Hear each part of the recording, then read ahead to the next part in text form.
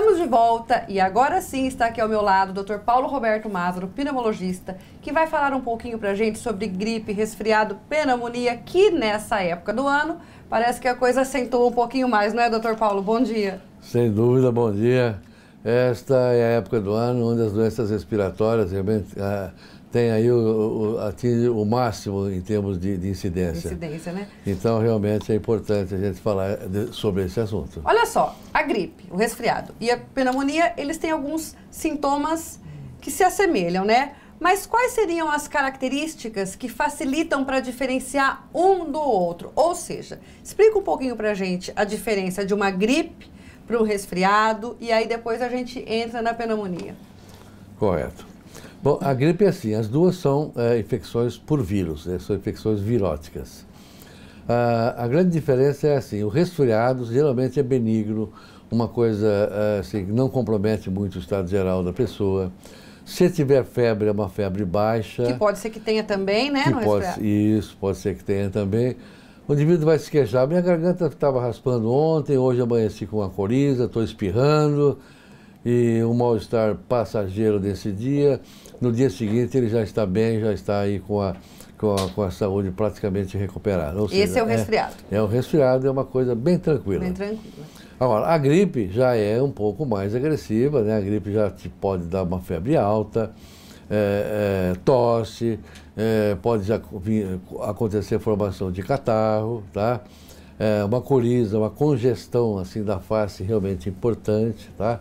Então a gripe é, se caracteriza por ter uma gravidade maior do que o resfriado comum. E a diferença seria a febre mais alta? Seria mais ou menos isso, de um para o outro? Febre mais alta. É bom, tosse, e, tudo que o senhor falou, né? isso. né? E o, a, a, o maior comprometimento do estado do geral estado da pessoa. Da pessoa. É, bom, para a gente falar agora sobre a pneumonia. É, o que é a pneumonia? E eu acho que é uma pergunta assim que as pessoas, é, na verdade não é uma pergunta, as pessoas acham que isso é um, é um fato.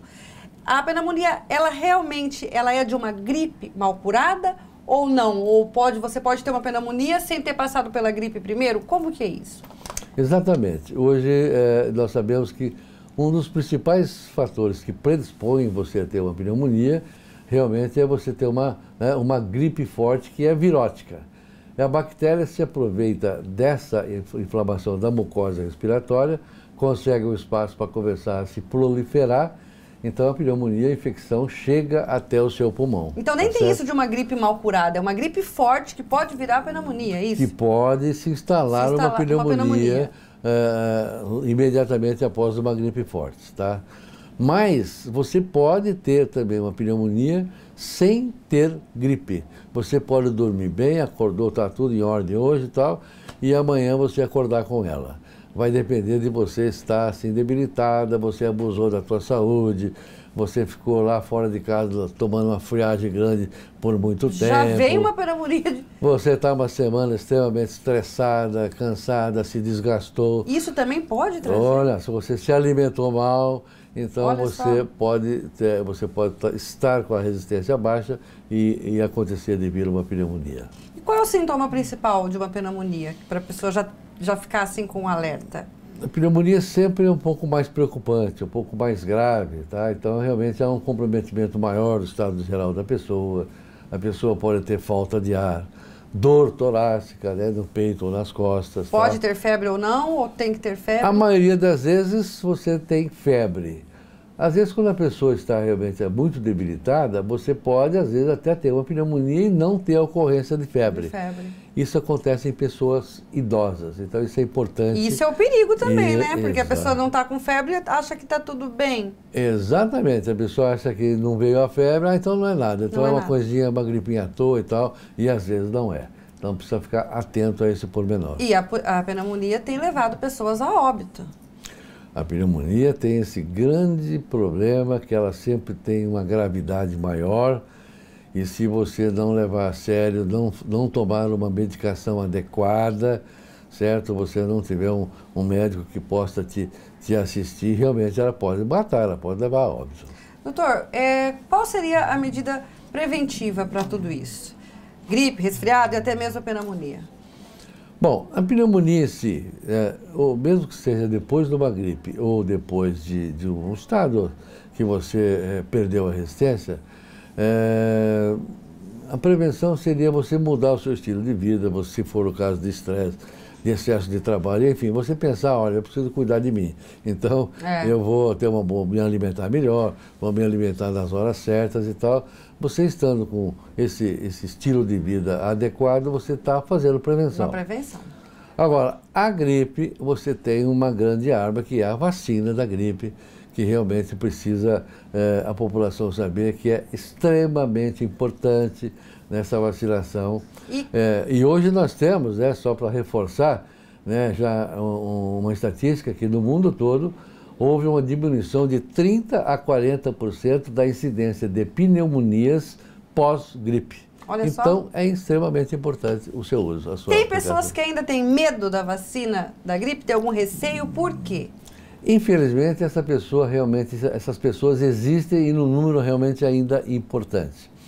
O grande problema da vacina é assim: você toma a vacina hoje, você vai estar imunizado somente daqui a 15 dias. Certo.